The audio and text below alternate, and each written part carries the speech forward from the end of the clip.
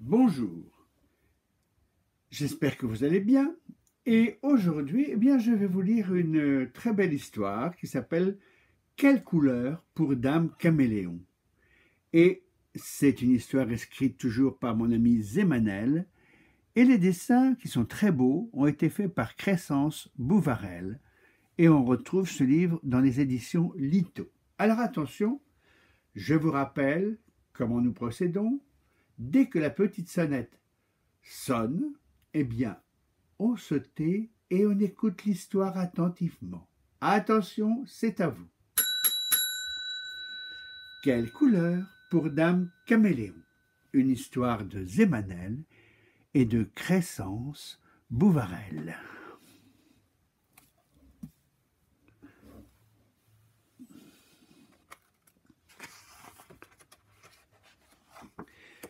Quelle couleur pour Dame Caméléon?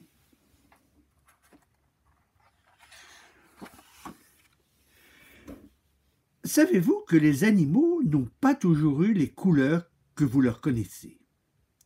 Le crocodile, par exemple, n'a pas toujours été vert, et les plumes du canari n'ont pas toujours été jaunes. Il y a fort longtemps, toutes les créatures avaient une seule et même couleur, le blanc. Le tigre, la taupe, le moustique ou le dauphin étaient blancs de la tête aux pieds. il a fallu attendre le jour de la grande distribution des couleurs organisée par le roi de la forêt. Ce jour-là, chacun a choisi sa parure définitive, son costume pour lui, ses enfants et les enfants de ses enfants. Et voilà comment cela s'est passé pour le plus curieux d'entre eux, le caméléon.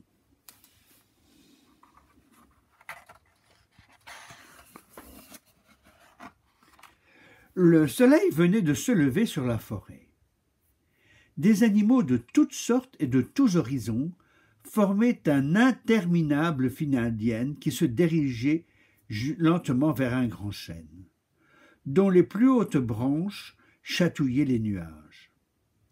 Le crocodile suivait le lapin, qui suivait la libellule, qui suivait la panthère, qui elle-même suivait le pingouin? Tous, les uns derrière les autres, venaient chercher leur couleur.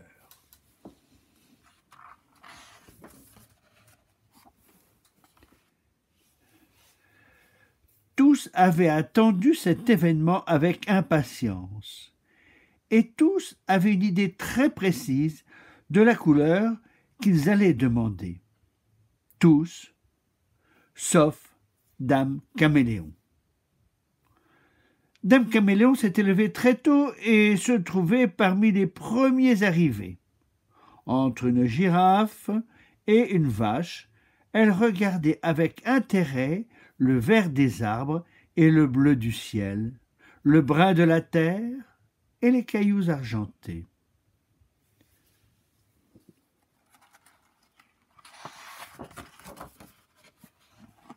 Elle rêvait déjà de sa future robe et cherchait la couleur qui la mettrait en valeur. Moi, dit la girafe, je voudrais une longue tenue jaune tachetée de brun. Moi, dit la vache, quelques taches aussi, mais noires, et ma cousine de Normandie prendra la même couleur, mais en marron. Et vous, dame Caméléon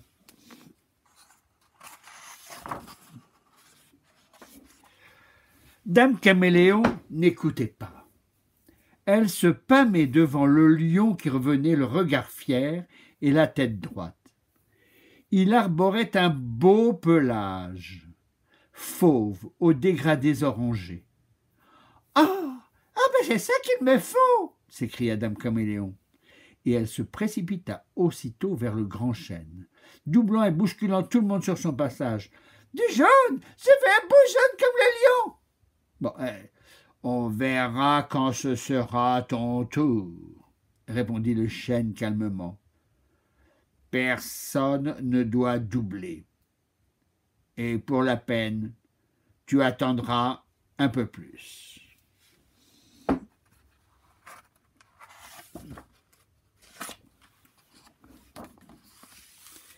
Dame Caméléon se retrouva alors entre un corbeau et un pélican.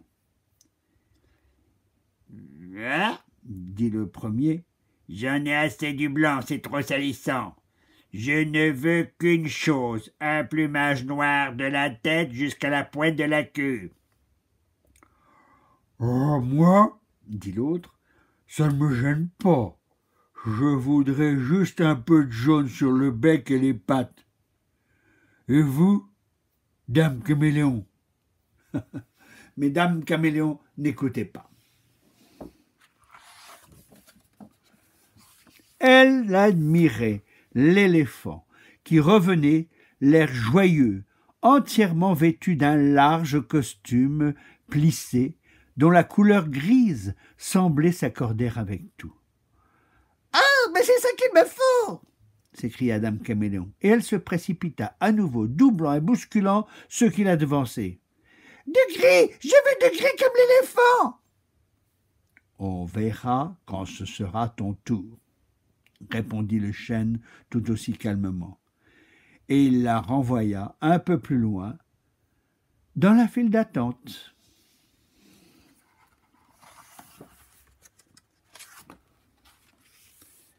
Dame Caméléon se retrouva alors entre un renard et un serpent.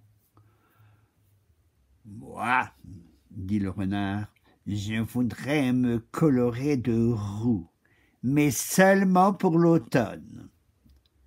Moi, dit le serpent, j'adore la couleur du citron. Un jaune comme ça me conviendrait. Et vous, dame Caméléon? Dame Caméléon n'écoutait pas. Elle s'extasiait devant le perroquet qui s'élançait dans le ciel, orné de bleu, de jaune et surtout d'un rouge vif qui faisait tourner toutes les têtes.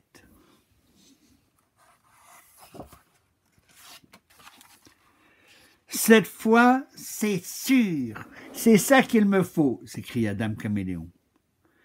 Et sans pouvoir se retenir, elle se précipita encore pour se présenter au grand chêne. Du rouge veux du rouge, comme le perroquet On verra quand ce sera ton tour, répondit le chêne imperturbable, et il la renvoya toujours plus loin dans la file d'attente. Et il en fut ainsi toute la journée. Dame Caméléon voulait le bleu et l'orange du martin pêcheur le rouge du flamand, le brun du cerf ou le cuivre de la loutre. Elle avait un arc-en-ciel dans la tête. À chaque fois, elle se précipitait, et à chaque fois, elle se retrouvait un peu plus loin dans la file, si bien que, quand le soleil se coucha, elle fut la dernière à se présenter au grand chêne. C'est enfin ton tour, dame Caméléon. Alors, as-tu choisi ta couleur? Dame Caméléon ne répondit pas. Elle voulait tout à la fois et ne savait plus très bien que choisir.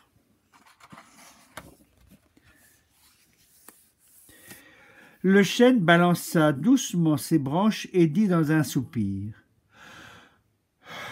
Bien, Puisque c'est ainsi, tu n'auras pas de couleur à toi.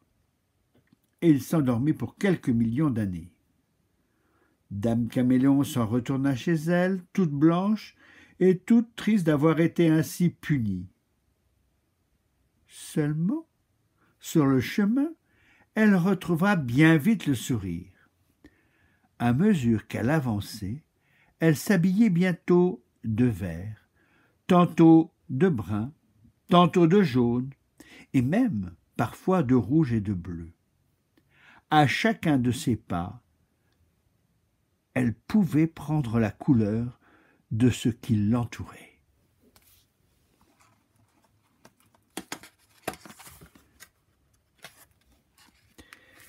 Le grand chêne ne l'avait pas puni, bien au contraire. Il lui avait fait un magnifique cadeau la plus belle robe de tous les animaux était sans conteste celle de Dame Caméléon.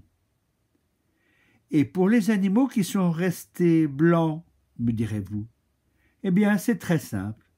Ils sont tous arrivés en retard et le roi de la forêt dormait déjà. Ils devront attendre la prochaine distribution de couleurs euh, dans un peu moins de bah, 6 millions d'années.